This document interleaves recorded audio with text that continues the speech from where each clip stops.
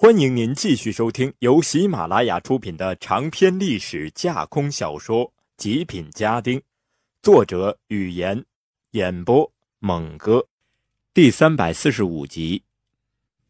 出了门来，高公公小心翼翼地将门掩上，生怕惊扰了里面经过千辛万苦才团聚的父女二人。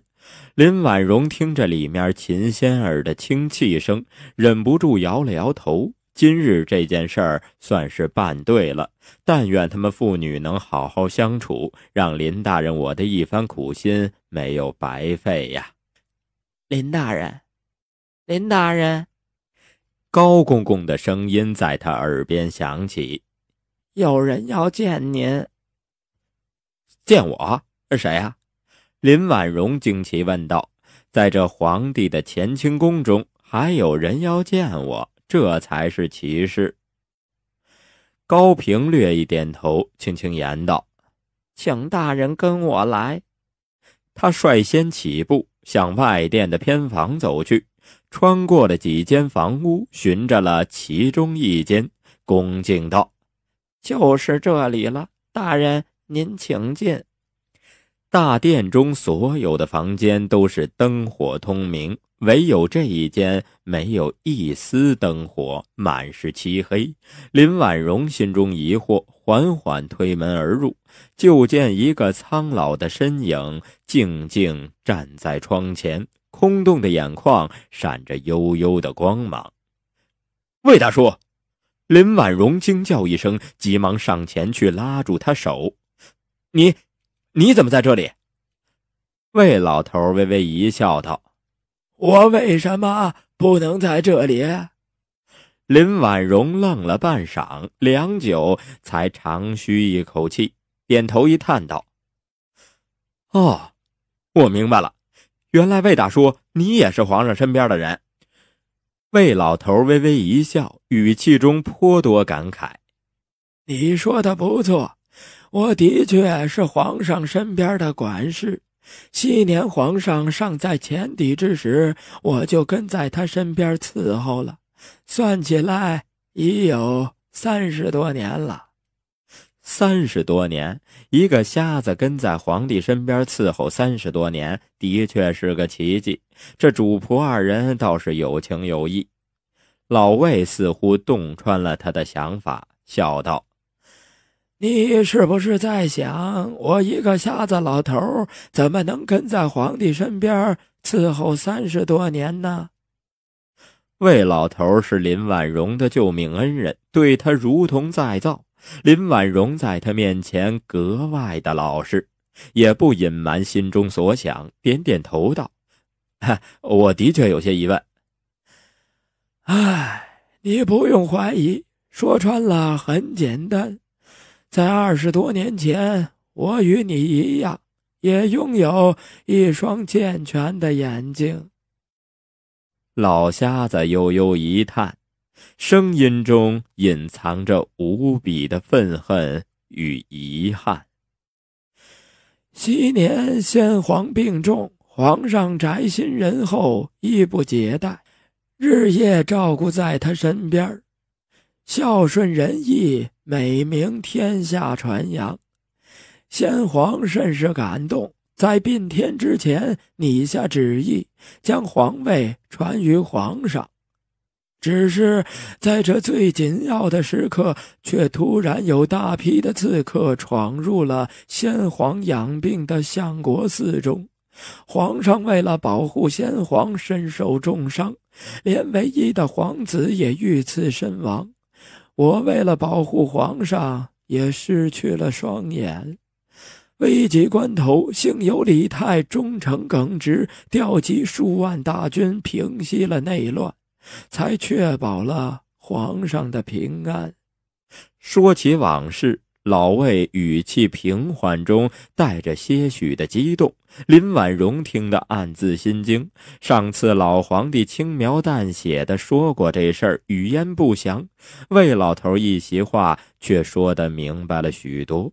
原来那一战，不仅魏大叔被刺瞎了双眼，就连老皇帝也身受重伤，而且他还失去了一个儿子。大概是从那次受伤之后落下的病根儿。老皇帝登基之后，竟然没有生出一男半女，导致江山后继无人。难怪他对成王愤恨到了骨子里。为了永保大华江山，皇上自十几年前便开始挑选人才。我作为其中唯一的知情人，接受了这个事关大华千秋万代的重任，四处奔走寻访，搜寻可造之才，直到后来遇到了你。老魏顿了一顿，悠悠一叹，摇摇头道：“唉，婉容啊，我真不知道该赞你。”还是该骂你呀，大叔，你想骂就骂吧。老实说，我做人的理念和你们不一样，我是要先快乐，再要富贵权势。如果没有了快乐，我宁愿什么都不要。林婉容老老实实道：“这一点我自然知道，我看中你，多多少少也有这方面的因素。”你思维开阔，敢想敢做，想得开放得下，行事的手段又不拘一格，仁义与狠辣兼备，的确是块好料子。当初看你快活无边的样子，我以为你得知真相后会有所改变，所以也没有在意，却没想到你了解了原委之后，竟还是一样的执拗。皇上对你又是欣喜又是无奈，只是我却心有不甘呐。林婉容嘻嘻一笑，道：“嘿嘿，大叔，我上次跟皇上说过了，能不能寻个两全其美的办法？既不为难我，也不为难他。呃，你老人家足智多谋，一定能想出好办法的。”魏老头苦笑道。你小子撂担子倒是一把好手，两全其美的办法哪里有这么容易想到啊？虽然说起来，我还得感谢你，让我多苟延残喘了几天呀。苟延残喘，大叔，我不太明白。林婉容不解说道：“您正在收听的是由喜马拉雅出品的。”长篇历史架空小说《极品家丁》。唉，就是苟延残喘呀。魏大叔一叹：“我活着的目的就是为皇上尽忠，为大华挑选一个合适的人才。一旦找到了这个人，也就是我走到尽头的时候啊。”灭口。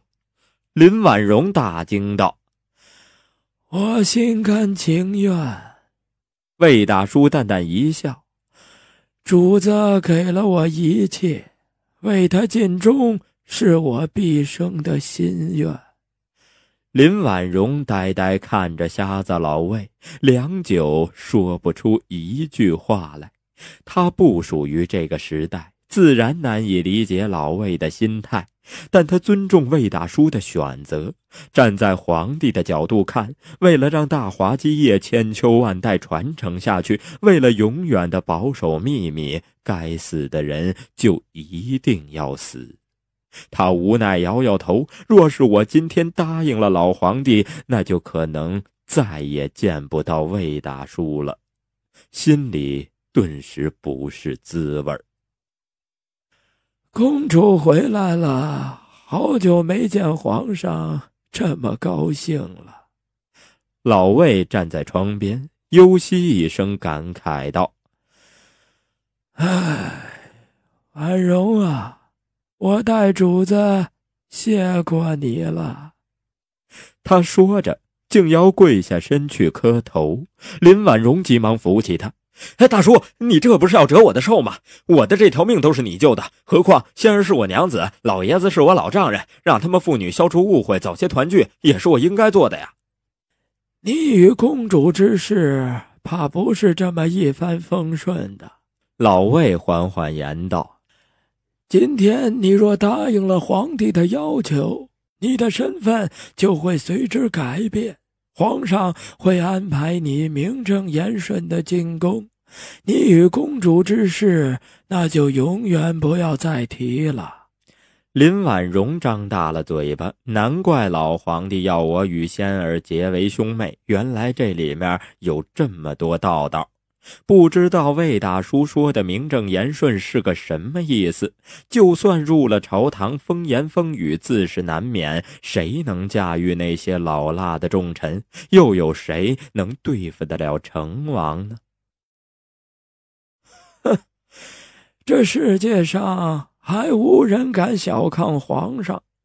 他对时局的掌控，对大事的把握和果断，是成王那些庸人绝不能比拟的。老魏哼了一声，缓缓说道：“你入朝之后，皇上会安排你逐渐掌管吏部，剔除叛逆官员，让你做恩科主考，擢升天下士子。”还会叫你辅佐李泰，掌控兵权。只要有兵权在手，管他风大浪大，你的地位自是稳如泰山。有官权与兵权，成王那种小厮一样是砧板上的肉，又能奈何你呀？老魏亲吟在皇帝身边，熟悉他的心思。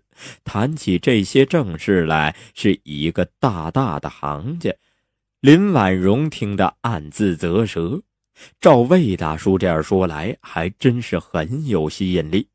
唉，要是又能娶仙儿，又能玩权势就好了。老子做个逍遥快活王，岂不美哉？怎么了？是不是后悔了？老魏虽然眼不能看，却是伺候皇帝出身，对人性深有洞察，微微笑道：“嘿嘿，哎，后悔倒不至于。”林婉容嘿嘿一笑：“是你的就是你的，不用抢也能得到。就像仙儿和老爷子，历经了这么多年的坎坷，最终还不是团聚了吗？”魏老头点头一叹。脸上现出淡淡的笑容。唉，这次真是多亏了你，皇上没有看错人呀。今日仙儿与老皇帝团聚，林婉容又与魏大叔重逢，真可谓双喜临门。仙儿父女叙话良久，乾清宫的灯火一直亮到深夜。林婉容便也在宫中住下了，与魏大叔秉烛夜谈一番，许多以前的疑问渐渐的明白了，心里当真是无比的快活。只是看着仙儿与老皇帝其乐融融、一家团聚的样子，林婉容欣慰的同时，却又有一些失落。世人皆有父母，皆可以承欢膝下，唯独他是个例外。表面看处处春风得意，却是无根之萍，不知道该飘到哪里，比那石头缝里蹦出来的孙猴子还要孤单千倍万倍。他心里有事儿，睡到后半夜，却无论如何也闭不上眼睛。春寒露重，窗外已凝积了些淡淡的露珠，一轮弯月挂在空中。点点银灰洒落下来，说不出来的清冷感觉。披了件长衫，推开房门，缓缓踱出。一阵淡淡的寒气袭来，让他昏昏沉沉的脑袋顿时清醒了许多。老皇帝房里的灯火仍未熄灭，不时传来轻轻的说话声和抽泣声。林婉容听得清楚，这正是仙儿的声音。她忍不住的摇头轻笑。这丫头与老爹团聚了，却从头哭到尾，也不知是太悲伤还是太高兴啊！出了乾清宫，看见旁边一个院子有些灯火，便信步走了过去。那院子与乾清宫相隔极近。灯火幽暗，唯有几个值守的太监宫女在油灯下打着盹儿。林婉容踏步入了院内，只觉一阵淡淡的清香扑面而来，似兰似麝，芬芳异常。她心有所觉，抬头仰望，正见大殿当中挂着一幅长长的画卷，只扫了一眼，他便如遭雷击般呆呆的立在了那里。听众朋友，本集播讲完毕，感谢您的收听。